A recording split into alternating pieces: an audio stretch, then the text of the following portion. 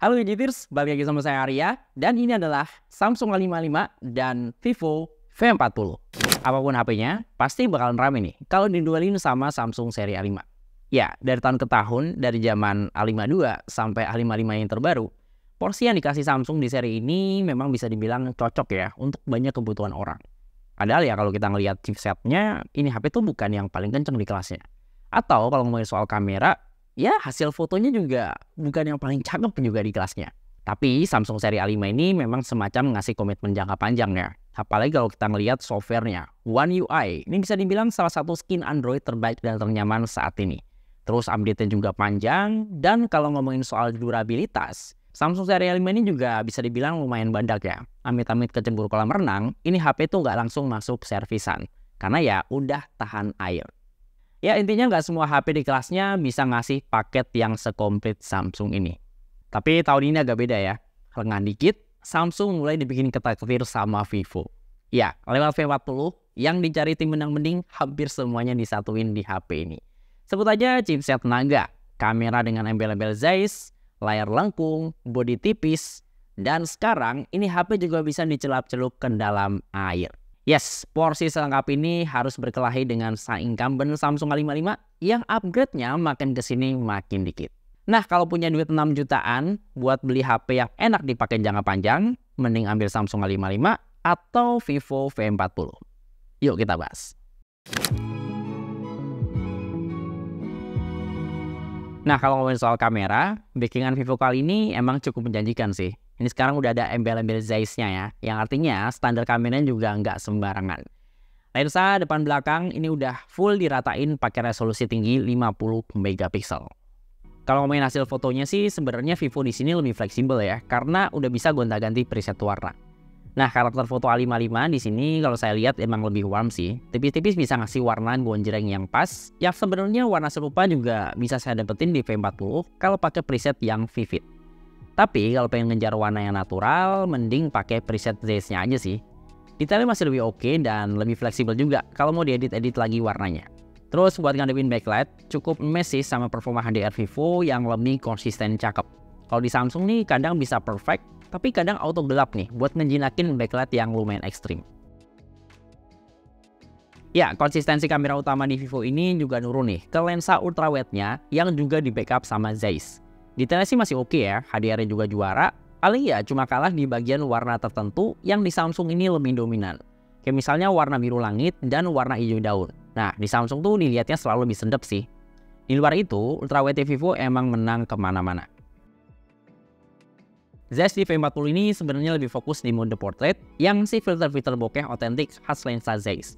Lebih fleksibel juga sih milih jarak pandangnya. Mau yang kelihatan dramatis, bisa pilih yang 50 mm. Yang mana ini lebih kelihatan ngezoom. Nah, fleksibilitas ini nggak saya dapetin nih di A55. Bahkan pakai dua kali zoom buat portrait aja itu nggak dibolehin. Belum lagi kalau ngambil foto-foto potret di malam hari yang cahaya nggak proper. Nah, Vivo di sini tuh punya semacam ring light buat nyesuaiin cahaya sekitar. Tinggal geser-geser barnya buat ngatur intensitas cahaya dari yang agak kuningan sampai yang warnanya cool ini gampang banget. Tapi kalau ribet, tinggal tap auto aja sih. Nanti sistemnya tuh bakal nyesuaiin warna cahayanya. Terus kalau buat foto-foto malam, performa night mode di V40 menurut saya sih lebih beringas juga. Gak cuma ngasih highlight yang lebih cakep, apalagi di tempat yang banyak cahaya lampu kayak gini ya. Di V40 juga lumayan bisa buat ngejinakin cahaya yang keras dan ngasih hasil akhir yang lebih soft. Nah sementara di A55 ini kalau saya lihat sih agak kewalahan ya buat nangkep cahaya lampu yang terlalu banyak. Kadang tuh warna lampunya malah bikin warna foto tuh jadi terlalu kuning dan ada bagian detail yang hilang-hilangan. Nah, gimmick yang menarik di V40 ada mode super moon buat foto-foto bulan pakai zoom 10 kalinya. Ini sih kalau saya lihat berasa pakai gambar bulan artifisial ya. Karena ya hasilnya tuh terlalu cakep buat kamera yang nggak punya lensa tele dedicated, apalagi lensa periskop.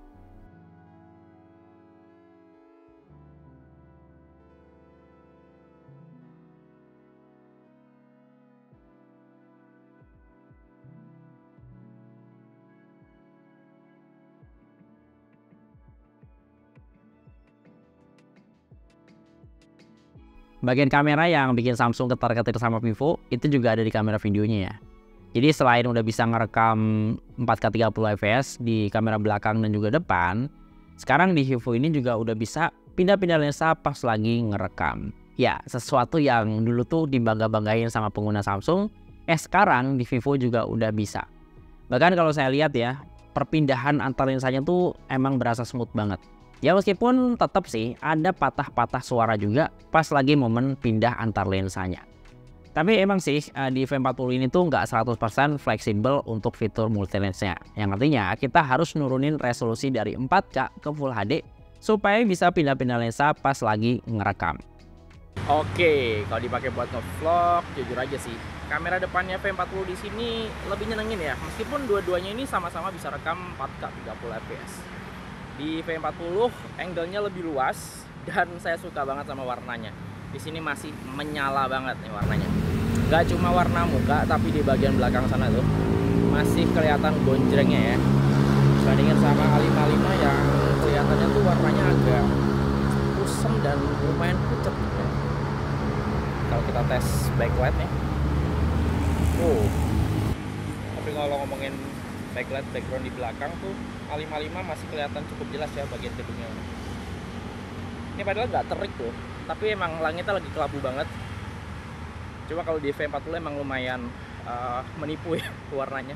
Di sini masih kelihatan sangat-sangat cerah gitu. Padahal di sini udah dibilang udah sore banget ya enggak sih. Ini masih jam 3an gitu. Yang harusnya masih lumayan terik ya tapi emang cuacanya emang nggak enak banget sih ini kayak udah mau hujan gitu ya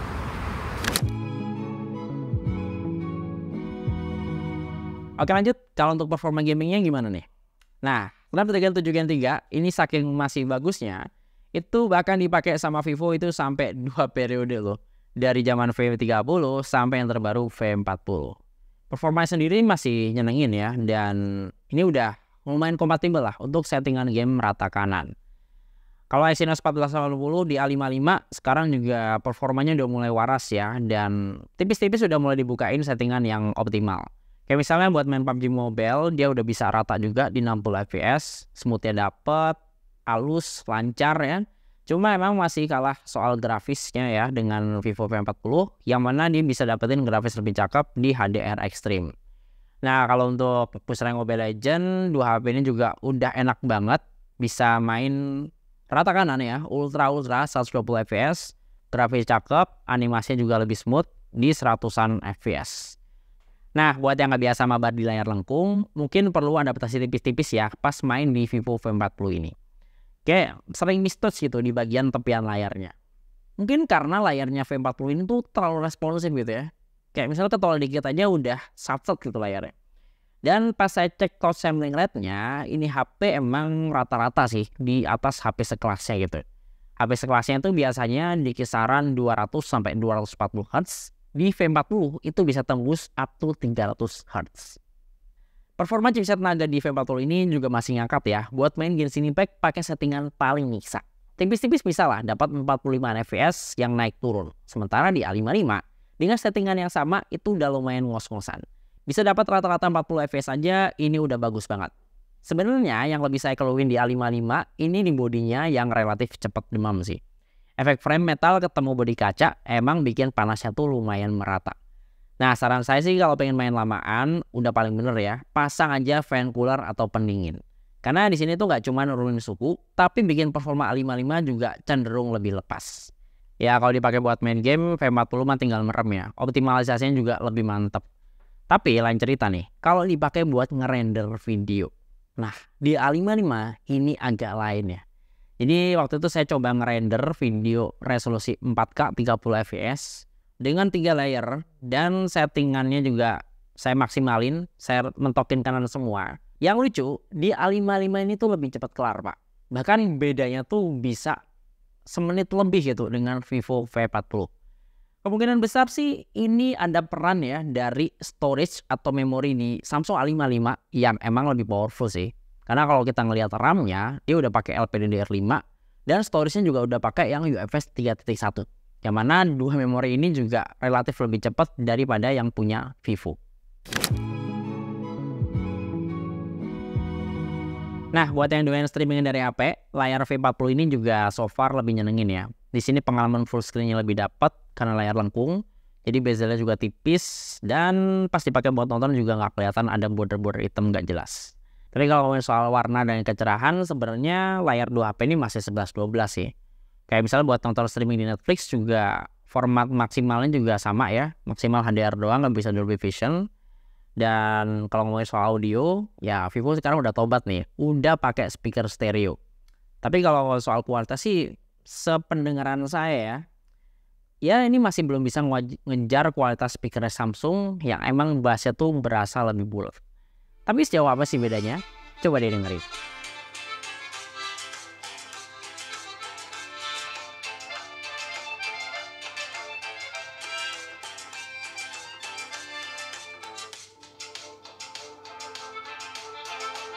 Milih HP buat jangka panjang sebenarnya nggak cuma dilihat dari hardware doang ya. Nggak cuma ngelihat spek, spek, dan spek. Tapi perlu nih dilihat softwarenya.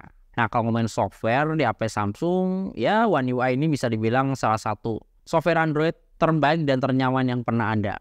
Kata fans Samsung gitu ya. Tapi buat yang udah pernah nyobain HP Vivo, Fantos OS-nya Vivo ini sebenarnya nggak kalah nyenengin gitu dari One UI. Karena ya dua software ini tuh sama-sama enteng, gak ada iklan, terus layout icon visualnya tuh juga sama-sama cakep gitu ya, nggak ngebosenin gitu. Jadi gimana Tam? Kalau buat jangka panjang mending One UI atau Touch? One UI di A55 lah ya. Karena One UI di A55 ini juga menurut saya sih lebih menjanjikan itu. Pertama dari zaman update-nya yang panjang ya, empat kali update Android yang major ya versi Androidnya dan lima tahun full security patch gitu.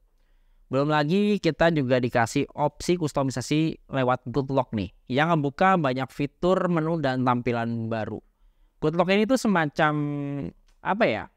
Fitur ala-ala custom room tapi lebih legal dan juga aman tanpa kita tuh harus repot-repot ngoprek HP-nya yang berpotensi ngerusak HP-nya juga. Nah ngomong soal keamanan ya eh, di Samsung A55 juga udah ditanamin yang namanya Knox Vault. Ini semacam layer security yang lebih tebal ya. Yang mana ini buat melindungi HP-nya supaya terhindar dari aktivitas-aktivitas yang berbahaya kayak misalnya hacking, scamming, dan juga phishing. Terus kalau untuk daya tangkap sinyal, saya tuh sering banget nemu komentar ya yang bilang kalau HP-HP Vivo itu punya daya tangkap sinyal yang lebih baik. Dan ini cukup terbukti pas saya coba tes uh, mau itu sinyal seluler dan juga WiFi antara V40 dengan Samsung A55. Ini saya coba download aplikasi dengan ukuran yang sama. Di V40 itu lebih cepat selesai. Selalu nih. Karena A55 itu hampir nggak pernah bisa ngalahin V40 soal urusan download-download kayak gini. Tapi buat Anda yang butuh eSIM buat fleksibilitas dan keamanan yang lebih baik, emang sih untuk saat ini baru ada di Samsung A55 aja. Sementara kalau untuk GPS-nya bisa saya bilang HP-HP dengan chipset Snapdragon itu rata-rata punya akurasi yang lebih baik ya. Apalagi kalau disandingin sama Exynos. Mulai dari ngunci GPS di map sampai pesan ojol di titik yang sesuai. Di V40 itu selalu ngasih hasil yang lebih baik ketimbang Samsung A55.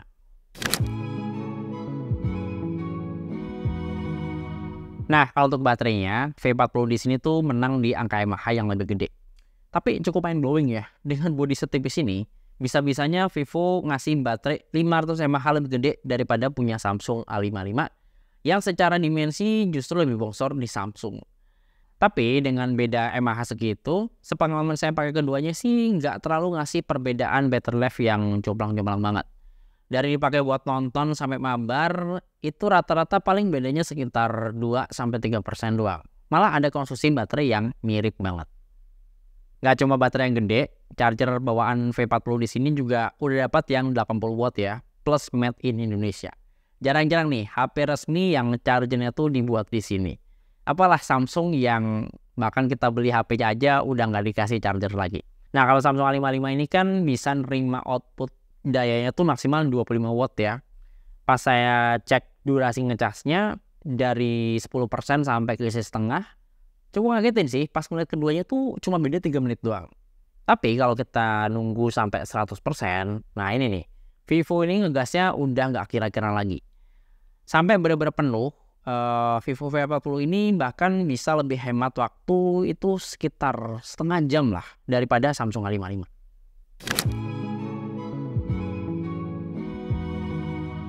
Oke, jadi kesimpulannya, buat Anda yang lebih ngejar performa gaming yang gaspol dan kamera yang lebih pro, agak susah ya buat nggak check out Vivo V40 ini dari keranjang.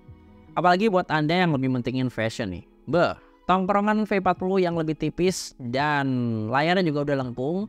Ini berasa cosplay ala-ala HP flagship. Buat yang butuh ngecas cepet, uh, di V40 ini juga di provide banget pakai charger 80 watt bawaan yang nggak perlu beli lagi.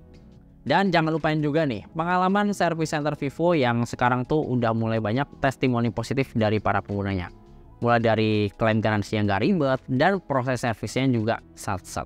Sementara buat Anda yang nggak terlalu peduli soal chipset-chipset, kamera yang penting bisa dipakai buat konten yang cakep dan stabil, dan udah terlanjur nyaman nih sama ekosistem One UI Plus Good Lock-nya, ya Samsung A55 ini masih jadi opsi yang terbaik kok. Jaminan update yang panjang, kamera yang lebih tebal lewat Knox Vault, bisa pasang eSIM, masih ada slot micro SD buat tambah storage existing. Di sini jadi modal utama ya buat HP ini untuk dipakai beberapa tahun ke depan.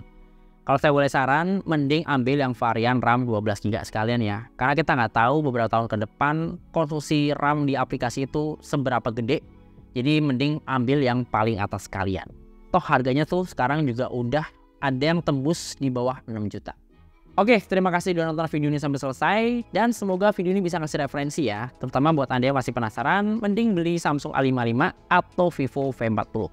Nah, untuk ngecek spek lengkap dan link pembelian kedua smartphone ini, seperti biasa, Anda bisa cek linknya di kolom deskripsi di bawah video ini. Ya, di sini dengan saya Arya dan di belakang kamera utama.